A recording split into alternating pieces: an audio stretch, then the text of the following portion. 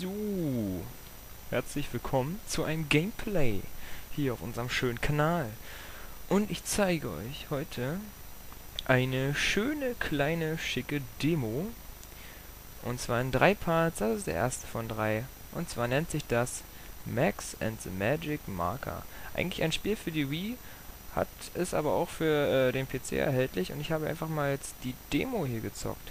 Ja, hier geht es einfach darum, ähm, dass man ein kleiner junger Mann ist. Der kleine Mann mit den orangenen Haaren da unten.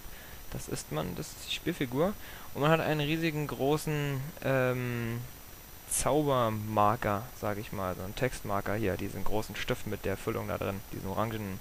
Und damit kann man sich Sachen in seine Spielwelt reinmalen, wie zum Beispiel ähm, ja, wie zum Beispiel dieses riesige Ding, was ich gebaut habe, um es auf den Houdin Lukas Apparat fallen lassen zu können. Ja, diese orangenen Kügelchen sorgen dafür, dass meine Tinte wieder aufgefüllt wird. Das seht ihr, wie diese Kügelchen in meinen Füller reinwandern. Und diese weißen Kügelchen, ja, irgendwie sorgen die dafür, dass ich mehr Glühbirnen habe oder so. Ich weiß auch nicht, was das, was das bringen soll. Ja, das ist, ja, wie kann man es nennen? Geschicklichkeits-Jump'n'Run-Spiel ähm, sehr lustig, würde ich sagen. Man hat immer diese grünen Heinis hier, die einem Tipps geben für Leute, die das Spiel noch nicht gespielt haben. Ich habe es schon ein paar Mal gespielt. Ja, hier kann man sich eine Brücke bauen. Und ihr habt gerade dieses lilane Monster gesehen da oben.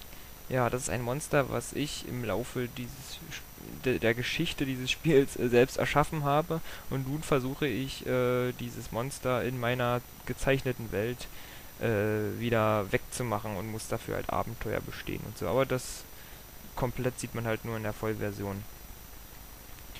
Ja, dieses Spiel ist auf jeden Fall was für kreative Köpfe. Nicht für Leute, die schnell an irgendwelchen Problemchen verzweifeln. Das ist nicht so ratsam. Und ja, das ist ja einfach mal ein kleines Gameplay, damit ihr seht, hey, vielleicht gefällt mir das ja. Und dann könnt ihr das auch mal spielen, weil dieses, diese Demo ist tatatata, kostenlos. Das einzige, was ihr dafür braucht, ist Steam. Steam ist relativ einfach zu bekommen, und zwar durch Google-Suche, Steam, dann downloaden und fertig ist.